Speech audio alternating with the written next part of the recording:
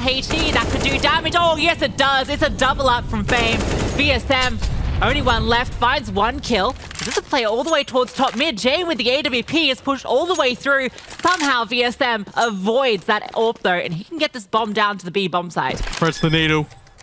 Bomb planted, need to regroup. Incendiary Oh. double flash. Oh, a little bit of a flub, but that's okay.